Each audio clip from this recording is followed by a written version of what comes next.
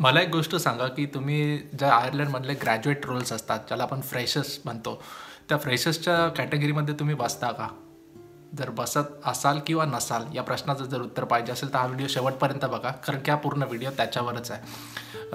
तर या व्हिडिओमधून तुम्हाला त्याची प्रोसेस समजेल त्याच्या स्किल्स काय असतात कोणत्या फील्ड्स इकडे जास्त डिमांडमध्ये आहेत त्या सगळ्या इन्फॉर्मेशन तुम्हाला या व्हिडिओमधून भेटेल. तर सर्वप्रथम तुम्ही परत आता या चॅनलवर आल्याबद्दल आणि माझ्या व्हिडिओज पाहतात त्याच्याबद्दल धन्यवाद. हा व्हिडिओ एक माझ्या एका फ्रेंडने कमेंट केलेली. त्या कमेंटसाठी मी हा व्हिडिओ बनवला आहे कारण की हा प्रश्न मला वन वे नाही तर अदर बऱ्याच जणांकडून येत असतो.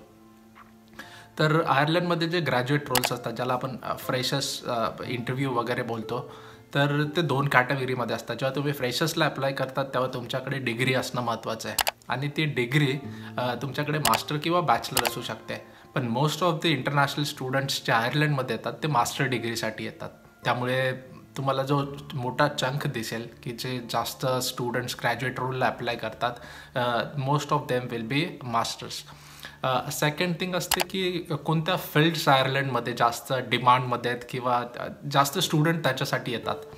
तर कारण की तुम्ही जेव्हा बाहेर पडता इंडियामधून दुसऱ्या देशात शिकण्यासाठी तर तुम्हाला तुम्ही कोणत्या स्किल आहे तुमच्याकडे आणि कोणत्या फील्डमध्ये तुम्ही जायला इच्छिता? त्यानुसार त्या कंट्रीमध्ये कोणते फील्ड कोणते फील्ड जास्त डिमांडमध्ये आहे किंवा कोणते स्किल्स जास्त चालतात हे तुम्हाला स्टडी करावं लागतं. तसं आयर्लंडमध्ये आय टी इंडस्ट्री खूप बूमिंग आहे.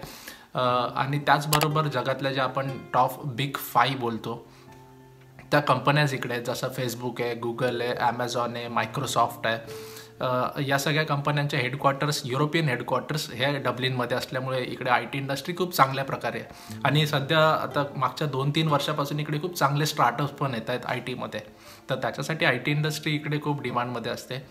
दुसरी गोष्ट म्हणजे फायनान्स जर तुम्ही फायनान्स इंडस्ट्रीमध्ये असाल तर ज्या फायनान्समधल्या बिग फोर प्लेअर आपण जे बोलतो की के पी एम जे असेल पी डब्ल्यू एस सी असेल ई वाय असेल डेलॉईट असेल तर सगळ्या कंपन्यांचे हेडक्वार्टर्स पण डब्लिनमध्येच आहेत. त्यामुळे या दोन मोस्ट ऑफ दी जे स्टुडंट येतात ते या दोन इंडस्ट्रीमधून येतात. आणि तिसरं म्हणजे अदर्स ज्याच्यामध्ये सप्लाय चेन असणार. आणि आता काही वर्षापासून मी ट्रेंड बघतोय की लोक इन्व्हायरमेंटल स्टडीसाठी आयर्लंडला सिलेक्ट करतायत. तर ती पण एक चांगली बातमी आहे. तर आपण बघूया की स्किल्स काय लागतात त्यासाठी. तर सगळ्यात पहिलं स्किल्स म्हणजे तुमच्याकडे कॉन्फिडन्स असला पाहिजे. कारण की तु तुमच्याकडे भले भरपूर नॉलेज असेल तुमच्याकडे भरपूर एक्सपिरियन्स असेल पण तुम्हाला तो शेअर करता येत नसेल किंवा तुम्ही कॉन्फिडंटली तो शेअर करू शकत नसाल किंवा समोरच्याला कन्व्हिन्स करू शकत नसाल तुमच्या गोष्टींमुळे तर तुमचं स्किल्स किंवा तुमचं नॉलेज काही कामाचं नसतं. त्यामुळे पहिली स्किल्स ते जे बघतात ते कॉन्फिडन्स बघत असतात. दुसरं स्किल जे आहे ते टीम प्लेअर आहे.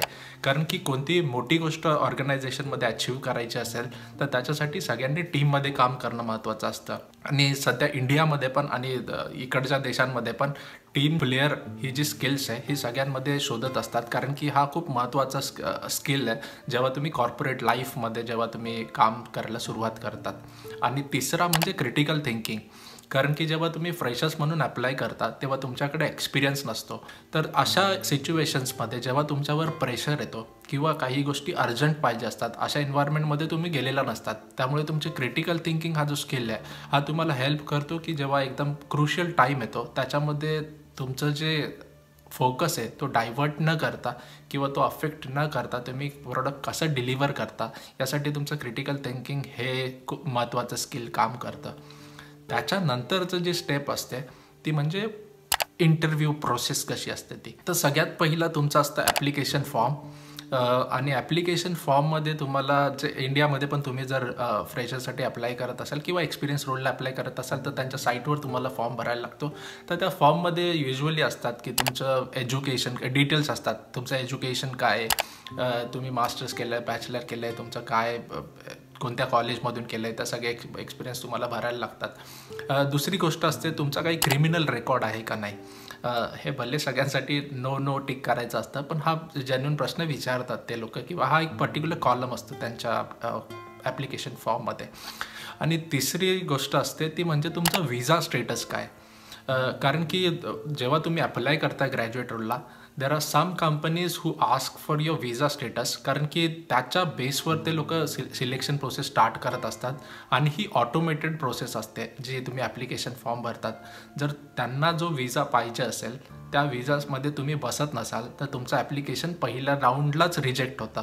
हा त्यांचा अल्गोरिदम सेट केलेला असतो त्या लोकांनी. त्यामुळे त्यांचा तुमचा विजा स्टेटस हे लोक ते लोक पहिल्याच राऊंडमध्ये विचारतात. त्याच्यानंतर तुम्ही हा जर सबमिट केला तर त्याच्यानंतर तुम्हाला एक लिंक येते. त्याच्यामध्ये तुम्ही ॲप डाउनलोड करून तीन चार रँडम प्रश्न विचारतात ते त्यांच्या कंपनीबद्दल किंवा तुमच्या बिहेवियरबद्दल कशाबद्दलही. आणि त्या प्रश्नांची रेकॉर्ड करून तुम्हाला उत्तरं सेंड करायची असतात. हा पहिला राऊंड असतो.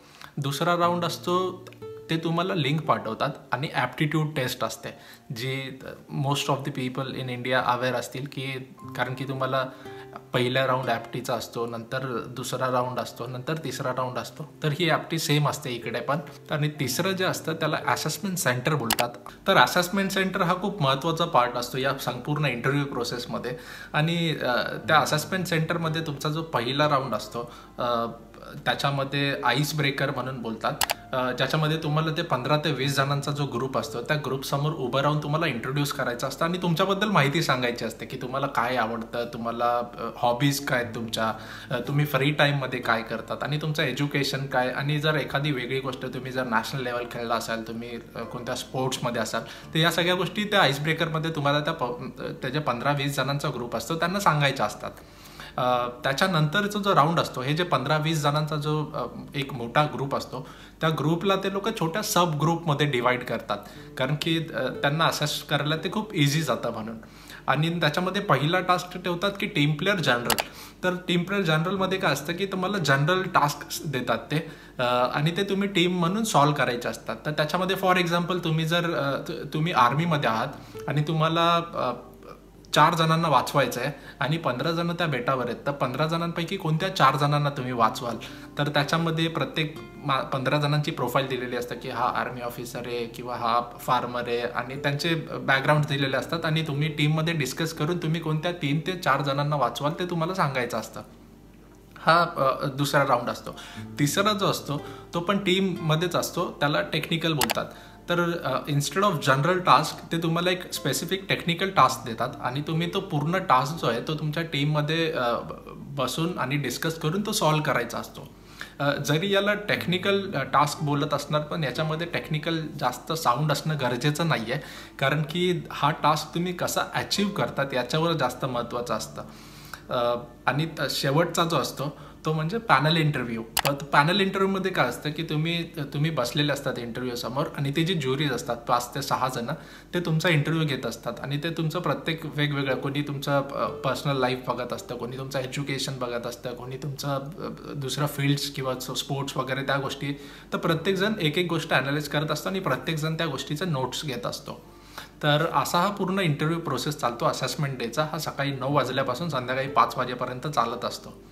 तर हा असेसमेंट दिवस झाल्यानंतर तुम्हाला पाच ते सहा दिवसामध्ये किंवा एक दोन आठवड्यामध्ये तुम्हाला त्यांच्याकडून कॉल येतो. जर तुम्ही सिलेक्ट झाला असाल तर. त्या कॉलमध्ये तुम्हाला सांगितलं जातं की कॉंग्रॅच्युलेशन तुम्ही सिलेक्ट झालात आणि तुम्ही ॲक्सेप्ट करताय एक ऑफर जर तुम्ही ॲक्सेप्ट करत असणार तर काही दिवसानंतर ते तुम्हाला ते घरी डॉक्युमेंट्स पाठवून तुम्हाला सिग्नेचर करून ते परत सेंड करायला लागतात. ती ऑफर ॲक्सेप्ट करण्यासाठी. आणि जर तुम्ही सिलेक्ट झाला नसाल तर तुम्हाला एक ईमेल येतो. त्या ईमेलमध्ये तुमचं सांगितलेलं असतं की तुम्ही या या गोष्टीमुळे सिलेक्ट होऊ शकले नाही आहेत पण ते ॲट द सेम टाईम ते लोक त्यांचं जे रूल्स असतात ते सांगतात की तुम्ही सहा महिने नंतर या कंपनीमध्ये सेम अप्लाय करू शकतात किंवा एक वर्षानंतर जसं त्या कंपनीचा रूल असेल तसा. तर ही अशी एंटायर प्रोसेस असते. प्रतिसाद मला कळवा. कमेंट्समध्ये सबस्क्राईब करा केलं नसेल तर. आणि चला भेटूया नेक्स्ट टाईम पुढच्या व्हिडिओमध्ये थँक्यू